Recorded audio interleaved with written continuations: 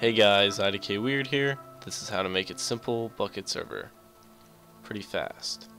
Make a new folder, rename that to whatever the name of your server is, or just a server. It really doesn't matter.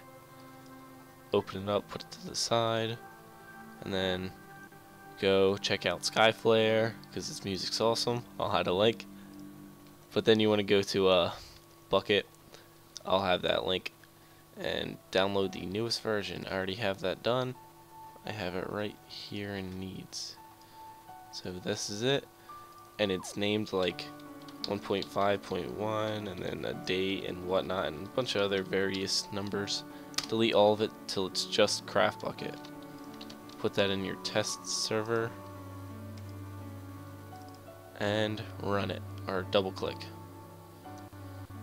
Now for me, since I I'm using a port already. I'm going to go into the properties file, server port. I'm just going to make that 5 for now. It doesn't really matter. And, oh yeah, so no one gets anyone, so no one gets any ideas. Whitelist. Alright, and then put your starter in. If you don't know how to make it, check my other video. I guess I'll add a link for that also.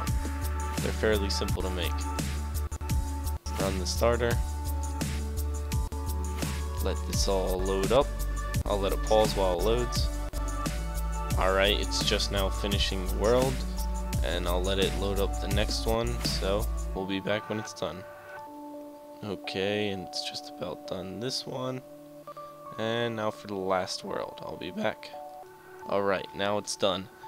And uh, now you can go ahead and connect to your server through your public IP, if you know what that is. Uh, if not, go to ipchicken.com, I believe, or just Google ipchicken. That should be it. If you don't know how to port forward, you're going to have to check out another video. Till next time, see you guys.